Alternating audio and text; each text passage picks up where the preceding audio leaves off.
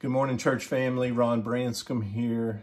I get the blessing of uh, providing a brief summary of Revelations chapter 18.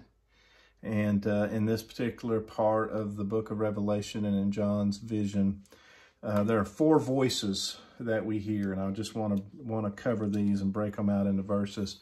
Verses one through three, we get the voice of condemnation. Uh, John saw the destruction of the spiritual and the economical Babylon that had occurred. And we see that very much to today. And so the system, the pollution of uh, that occurs of the need for goods, uh, trying to fill our, our, our heart with joy of I get this, I buy this, just the whole riches and pleasures.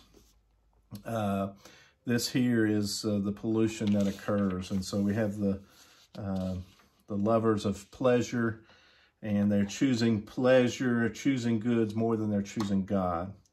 And then verses 4 through 8, we have the second voice, the voice of separation. And this is basically the calling out of those away from this pollution or away from this type of society or from the world.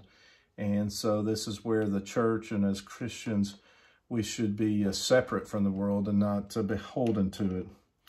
Uh, and then the third voice is the voice of lamentation.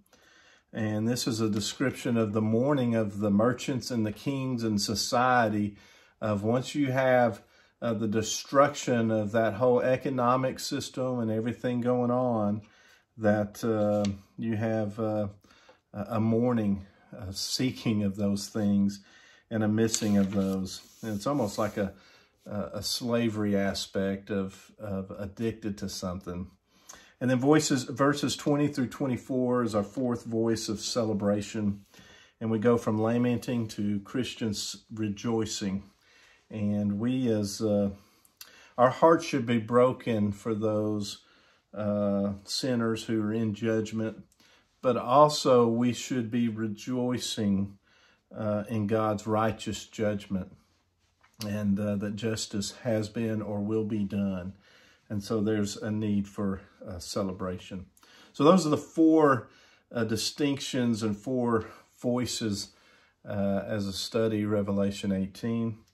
At this point, the political and economical system of the beast has been destroyed and all that remains is for Jesus to return. And so uh, the question I leave you with is, in these in this worldview of Babylon and and not being a part of Babylon, which one are you a citizen of? Are you a citizen of heaven or are you a citizen of Babylon? So I'll leave you that question. And I wanted to give a quick thank you, church, and I really think we need to really wrap our arms around and, and thank uh, Brother Josh and uh, Brother Kevin Trevatham and a lot of others, Brother Tim Small. There's a lot of guys that showed up and, and ladies too that showed up to work Tuesday night when the pipes uh, busted there at the church. And then I know uh, Kevin Trevatham is very involved with the insurance company. So uh, quite a bit of uh, challenges there within the within the physical structure of our church uh, but it's it's starting to be repaired. But I just want to thank uh, those who have put in the effort, and that would you know really be Brother Trevatham, who's got it on his shoulders right now to get that building tip-top shape. So thank y'all. God bless. And uh, not sure when we will reconvene as a church body, but hopefully it'll be soon, God willing. Take care.